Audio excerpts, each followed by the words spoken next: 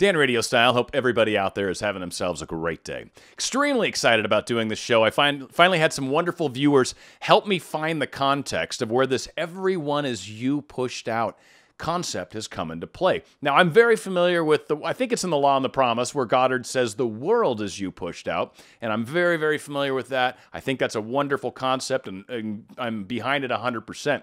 I've been fighting the everyone is you pushed out a little bit. And I'm glad I finally found the context of this quote because one, it helped me understand where it's come from.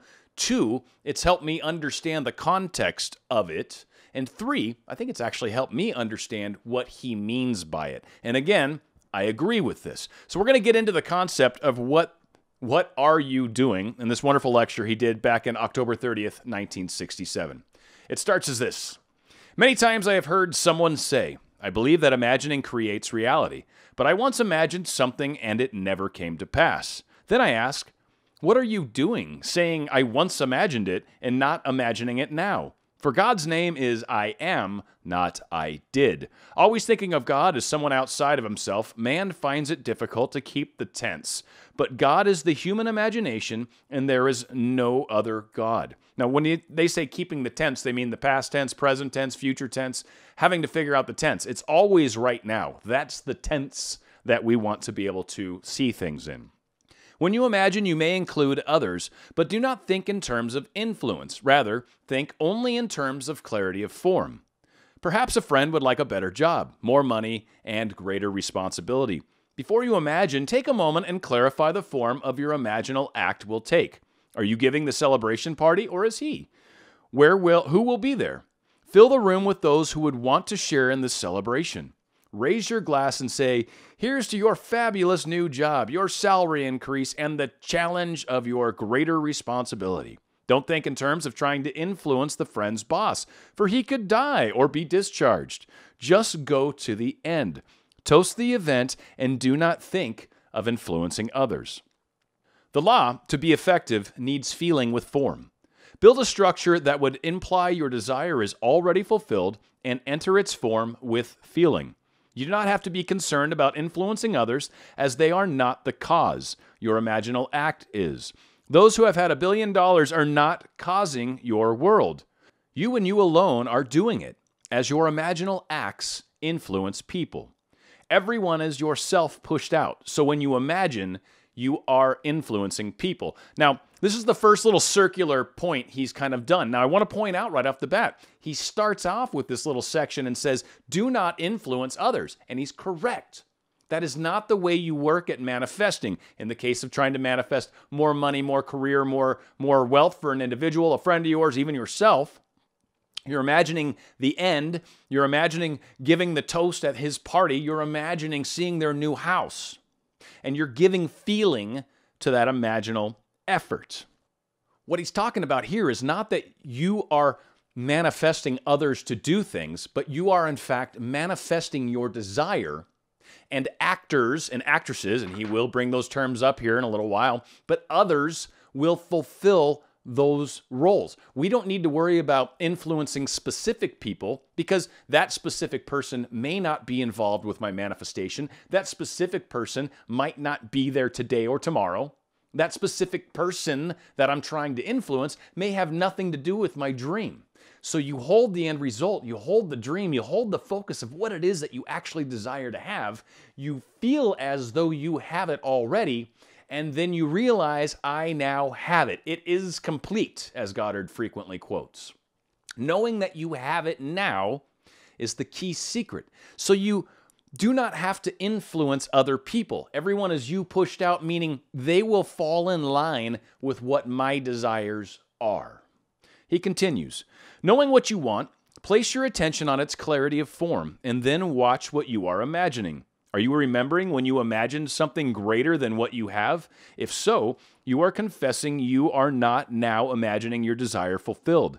If imagining creates reality, you must change your memory and become aware of what you are imagining right now. Now, he gets into a whole bunch of dream sequences and dream stuff and wonderful symbolism in dreams. I cut a lot of that out because it was just made this super long. And it kind of bounced around some subjects, but didn't really speak to the everyone as you pushed out or any of those concepts. So he continued after all the dream stuff. Now, there is an eternal brotherhood and fatherhood, for every individual is the father of the same child. How would I ever know that you and I are one were it not for this symbol? God placed eternity, his only son David, in the mind that man may know he is his father. And if you know David to be your son, and I know I am his father, are we not one? There is no other way of proving our brotherhood save through our common fatherhood. If you had a son and I had another, we could question this common fatherhood. But there is only one son who is loved by all. We are all one, but we will know it only when we have gathered in that one body, that one Spirit, one Lord, one God, and Father of all. Always think in clarity of form, for as you do, you are influencing others. When I wanted to get out of the Barbados, I didn't think of influencing anyone. I simply used clarity of form and walked up to the gangplank in my imagination. The act caused someone 5,000 miles away to cancel their passage. And although there were hundreds ahead of me waiting for passage, the one who had the power to distribute the tickets chose us. So I did influence others. I imagined, and we came back, while thousands who preceded us in applying for passage continued to wait their turn. Do you know that the moment you draw a line, you encompass energy? That without an outline, everything is nothing. Draw your outline and make your picture as clear as possible. Perhaps you are going to a party to honor one who is present. Sit at the table with friends and raise your glass. Congratulate your friend on his new position, his greater salary, and more responsibility. Stick to that thought, and it will not matter to who is influenced. The moment you think of influence, you reduce a miracle to magic. All the people in the world are only yourself pushed out. No one has the power to hold you back or promote you, for you are self promoted or self restricted. And again, he's talking about right here that our dreams, no matter what they are, and he does actually get into specifics here. He talks about helping a friend out, how to get a ride on a cruise, basically, how to travel from Los Angeles to New York, how to manifest wealth, and how to manifest a chair behind a desk. And every single one of these different scenarios, he talks about holding the vision, understanding that that's what does the creation, the feeling of the wish fulfilled and the holding of the vision. And any people that need to get influenced by my manifestation so it can come true, meaning if there's some person at the cleaners that needs to do something, and then that's going to lead to this guy over here driving a Ferrari, and then he's going to go, oh my God, Dan Radio style, oh, I got to have him on my show, right? I mean, however it plays out these things will fall in line. I don't need to worry about specifically influencing people. All I need to do is hold the end result, feel it as though I have it right now, and the rest of the pieces begin to fall in place. Blake tells us to enter into, not just observe, but enter into images in our imagination, to approach them on the fiery chariot of contemplative thought to make a friend and companion of any one of these images of wonder. For if we will, we will rise from the grave and meet the Lord in the air and be happy. Let us say you are in Los Angeles and want to be in New York City.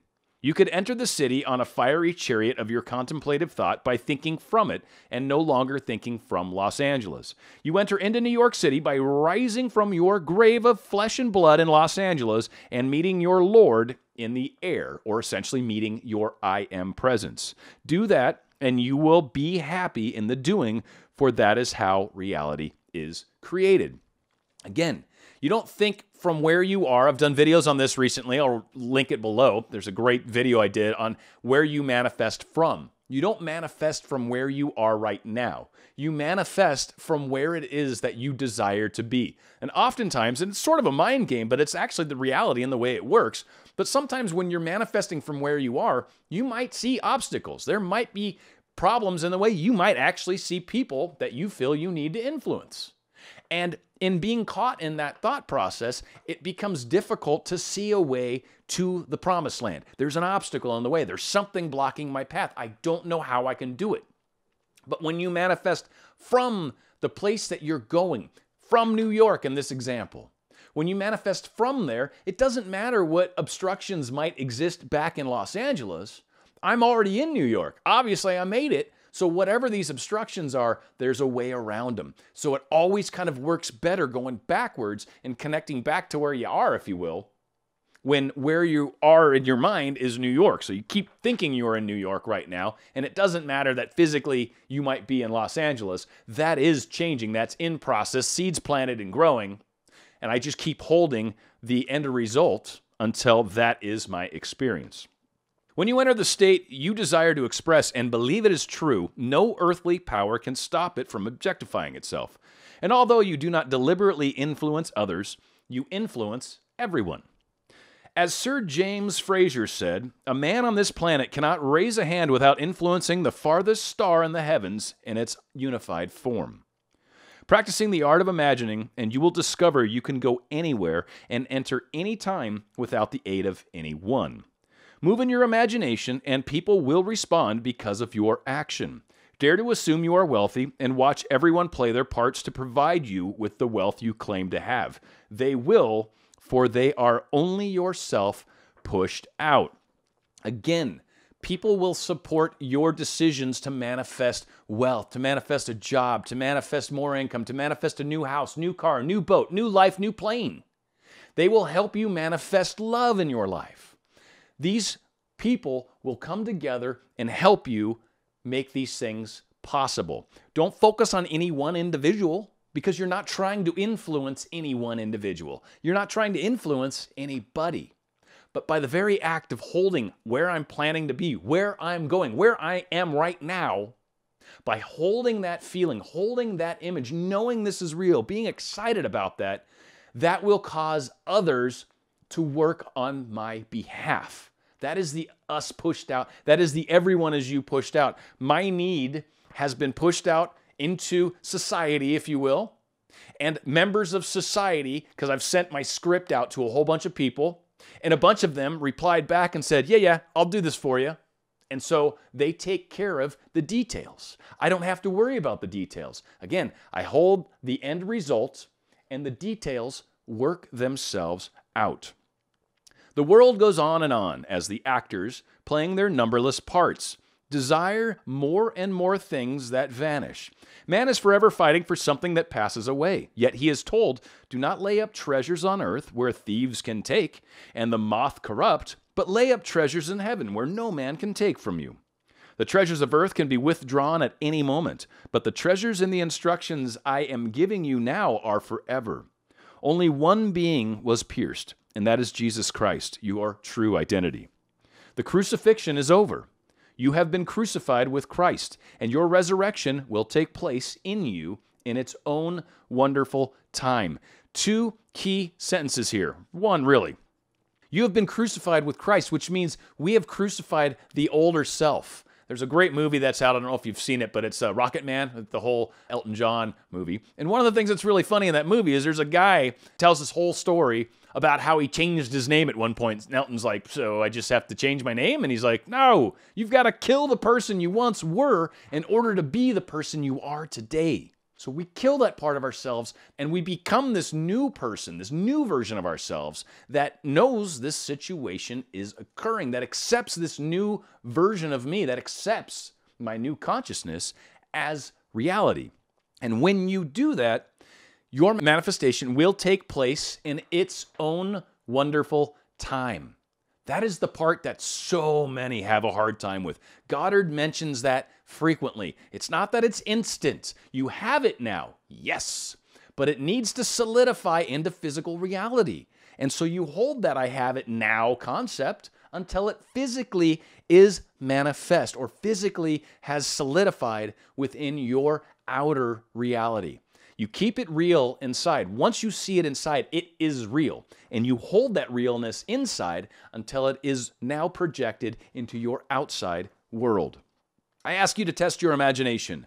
Go all out and believe in what you have imagined. Do not try to influence anyone. Instead, put all your energies into clarity of form. If a certain desk designates that you are occupying a desired position, occupy that desk. Enter into the image, and you will realize your vision. Sit in the chair behind that desk and view the room. Persist in thinking from that point of view. If you do not physically occupy that chair tomorrow and begin to doubt, ask yourself, What am I doing? Remembering and not imagining? Then return to your chair beyond that desk. That final line is the jackpot. Stop remembering what once was. Stop remembering how it used to be. Reimagine what it's what you'd like it to be essentially. It's when we pay attention to the fact that we don't have it and we go, "Ah, oh, I don't have it. I see I don't have it." We're forgetting that we do have it already. We're remembering how it was, not how it is. And there's a very big difference in those mindsets. So don't worry about influencing others. Don't worry about the fact that it might take a its own wonderful time to manifest. Hold the vision inside yourself. Hold the feeling inside yourself until the outer reality shows it back to you. It starts inside and then will end up outside. And if there are any persons that you feel need to help you in this quest, any people out there that must be a part of this process to help you become or help you have whatever it is that you're desiring, those people will be influenced by the very nature of you holding the clarity of form, by you holding this image of how it is in your mind and remembering this is how it is.